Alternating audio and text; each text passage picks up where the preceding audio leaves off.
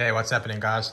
So, I placed a bid on a Robert Lewandowski hand-signed Polish shirt, a Polish football shirt or Polish soccer shirt, depending what country you're from. Um, and this arrived in the post. I just wrote his name here, and then it had the postal information. So the question is, is this a fake or is this real? um, I won the bid for 15 pounds and I think shipping was an additional three pounds. Uh, let's see. Wait one second. Okay, got it open. So, drum roll.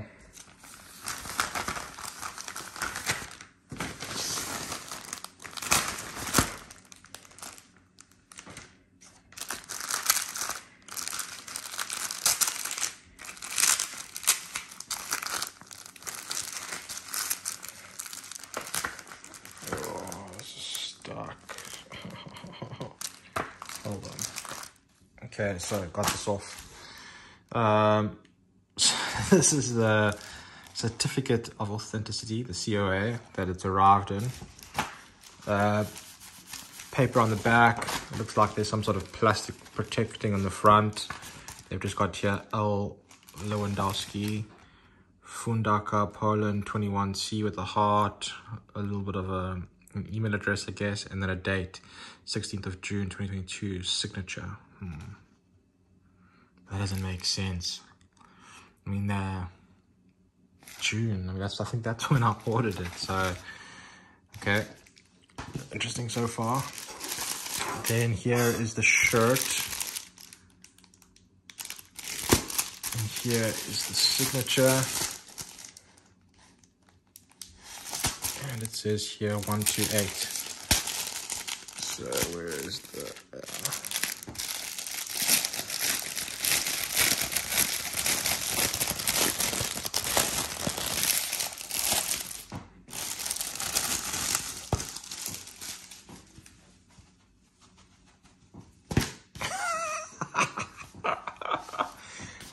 small is this? No.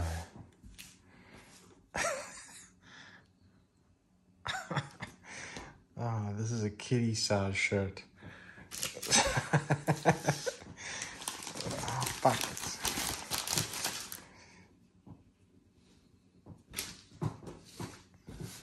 And then here, this is signature. I don't know what frame I'm gonna put this in.